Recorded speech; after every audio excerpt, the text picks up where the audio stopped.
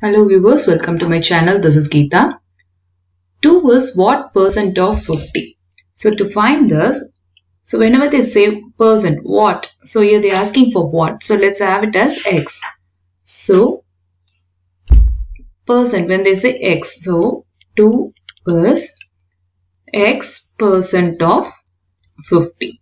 So when they say percent, it is 100. So x by 100 of is times multiplied by 50 equals 2.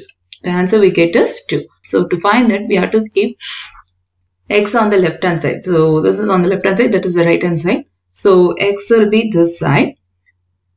You can either simplify this first and then take it to the other side or can directly take it to the other side and then simplify it. Anything is fine. So this is 51 times 50, 2 times is 100. Now 0, 0 gets cancelled by 1 times, by 2 times is 10. So x by 2 equals 2. So now to find x, so when it is division on the left hand side, goes on the other side becomes multiplication. So here it is division. So 2 goes on the other side becomes multiplication. So is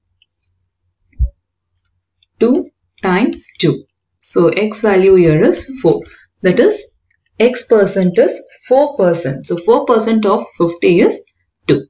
So x here is 4%. Now let's solve the second problem which is 1 by 2 is what percent of 1 by 3. Same thing. So when they say for what percent we are going to take it as x. So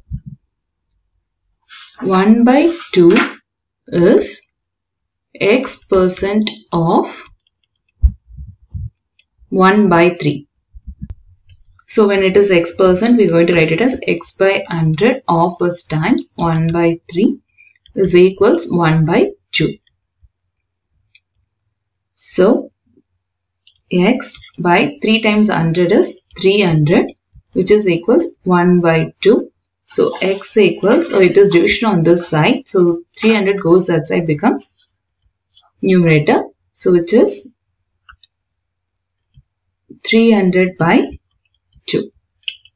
So x equals 150 percentage. So x is 150 percent here. So 1 by 2 is 150 percent of 1 by 3.